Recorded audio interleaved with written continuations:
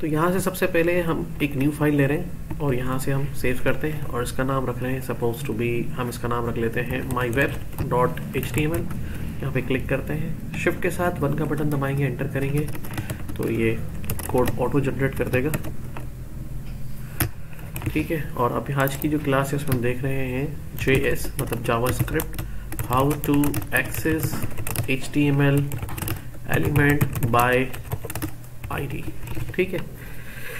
अभी होता क्या है? मिसाल के तौर पे अगर आप यहाँ पे कोई भी एच का एलिमेंट यूज़ कर रहे हैं, जैसे मैंने यहाँ पे एक डिव बनाया हुआ है और उसकी कोई आईडी रखी हुई है सपोज़ टू बी आईडी मैंने क्या रखी हुई है? लेट सपोज़ मैंने उसका नाम रखा हुआ है डिस्प्ले और यहाँ पे मैंने उसका एक और कोई और एलिमेंट बनाया हुआ है, जैसे पैराग्राफ और उसकी आईडी मैंने रखी हुई है।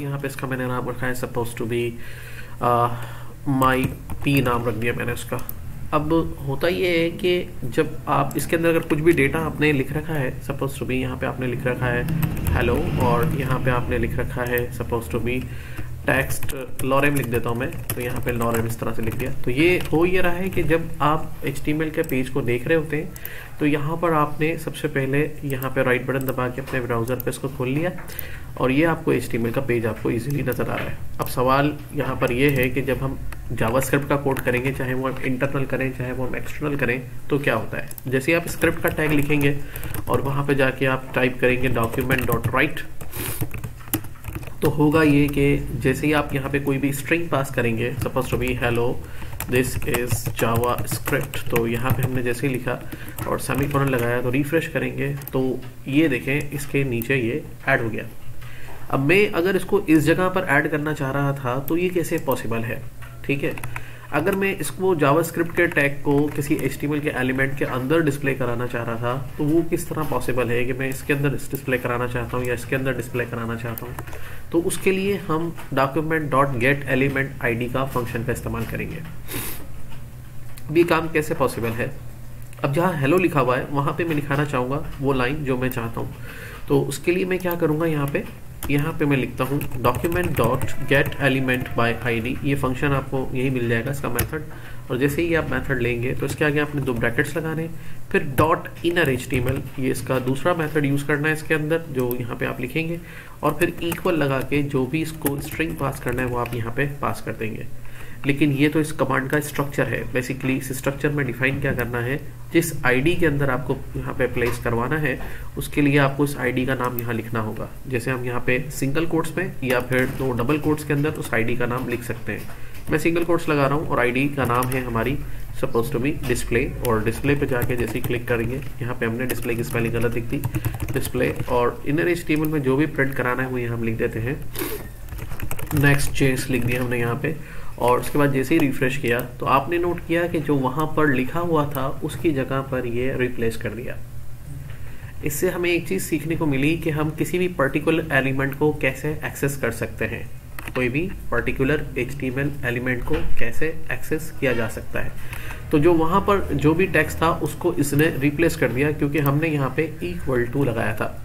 अगर हम इसके आगे प्लस का साइन कॉन्कटेनेट कर देते तो रिफ्रेश करने पे यहाँ पे नैन आ रहा है। ठीक है? और डायरेक्टली इसके ऊपर नेक्स्ट चेस लिखा हुआ रहा है। तो आपने देखा कि किस तरीके से हमने इसको इस पर ऐड किया। अगर हम यहाँ पे प्लस इक्वल लिख देते तो फिर क्या होता? फिर देखिए हेलो के साथ नेक्स्ट चेस ऐड हो गया। इस साइन का मकसद क्या हुआ? ये एक असाइनमेंट ऑपरेटर है जो हमने इस पर अप्लाई कर दिया प्लस इक्वल का, जिसमें उसने जो भी टेक्स्ट था, उसके साथ मजीद टेक्स्ट को ऐड कर दिया। मतलब जो भी एलिमेंट की वैल्यू थी, वो अपनी जगह मौजूद रही और उसके साथ जो अगली वैल्यू थी, वो उसके साथ क्या कर दी? अपेंड कर दी।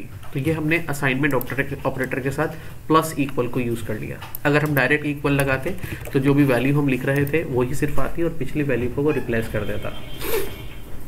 अच्छा इसी तरीके से अगर आप इसको किसी वेरिएबल की वैल्यू को दिखाना चाहते हैं तो वो भी आप पॉसिबल है कर सकते हैं। मिसाल के तौर पे हमने यहाँ पे लेट करके एक वेरिएबल डिक्लेयर कर दिया, जिसमें हमने दिखाया फॉर एग्जांपल असाइनमेंट के साथ और उसके अंदर वैल्यू डाल दी। और सॉरी एक वेरिएबल ले लिया suppose to be P text के नाम से हमने एक वेरिएबल ले लिया और उसमें एक वैल्यू असाइन कर दी, जो कि हमने सिर्फ़ ये लिख दिया suppose to be we are learning J तो लिखने के बाद हमने सो सेमी कॉलर लगाया, ये इसके अंदर टैक्स ऐड हो गया। अब हम इसको इस आईडी पे शो कराना चाह रहे हैं तो कैसे करेंगे? सेम स्टेटमेंट लेंगे और स्टेटमेंट लेने के बाद हम यहाँ पे लिखेंगे और यहाँ पे उसका नाम लिखेंगे, जो इसकी आईडी है माई पी और माई पी लिखने के बाद इनर एच करके इसको आगे नेक्स्ट करेंगे। और इसके अंदर जो स्ट्रिंग्स थे, उसको हम पास कर रहे थे डबल कोट्स के अंदर, जो कि अब वेरिएबल है, उसको डायरेक्टली यहाँ पे पास कर देंगे। सेमी कॉलन करेंगे। सेम मेथड यहाँ पे अप्लाई होगा, जो उसका टेक्स्ट था रिप्लेस हो जाएगा इस टेक्स्ट के साथ। अब अगर आप उसको भी कॉन्कटेनेट करना चाहते हैं तो प्लस इक्वल लगा देंगे और प्लस करेंगे तो वो टैक्स भी रहेगा और आपका टैक्स जो है, उसके आगे यहाँ पर ऐड हो जाएगा, इस तरीके से। तो अगर आप उसके साथ आगे ऐड करना चाहते हैं तो प्लस इक्वल लगाइए। अगर सिर्फ़ उस पर असाइन करना चाहते हैं तो इस तरीके से आप इसको कर सकते हैं। तो इस तरह आप कोई भी एलिमेंट को document dot by get element ID access कर सकते हैं जावा स्क्रिप्ट के ज़रिए एच का। ठीक है?